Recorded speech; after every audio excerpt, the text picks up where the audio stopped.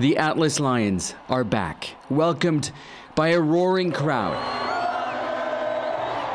Young and old, waiting hours for the chance to see them, to honor them, a team that has made Moroccans proud.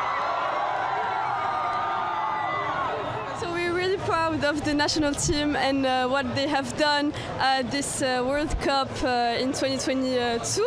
So we're here to celebrate with them uh, all the things they've done for us and uh, voilà. Although we didn't uh, won the, the final, it's very important for us to be to be proud of uh, what we, we made because we all made this together and Made history. Well, yes, we made history. Uh, this team showed what Moroccans are capable of, and they showed the world how talented the Moroccan team is. Feeling uh, very happy, alhamdulillah. Uh, we came from, uh, from, from Holland just to, just to witness this. It's a life achievement, wallah. It feels like coming home. Tears, goosebumps, everything.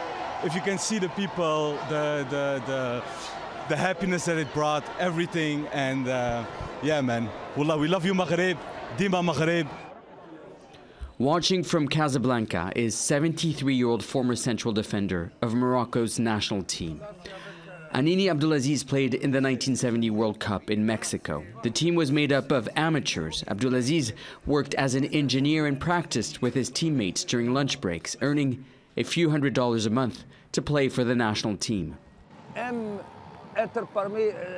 We all wish to have been part of this team. They're so professional and youthful. They clearly play for the love of their country, of their flag, and of their king. Most of the players were born abroad and are dual nationals to receive a hero's welcome from the country of origin, from where their families are from, is not just special, it resonates for millions of people.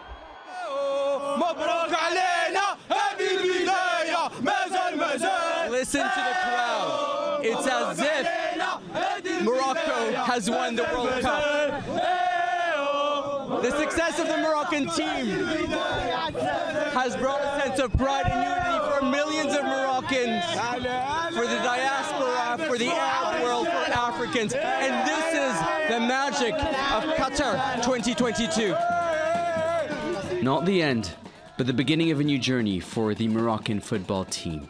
In making history, they now seem unstoppable, carried by the support and love of millions of people. Nicolas Haque, Al Jazeera, Rabat, Morocco.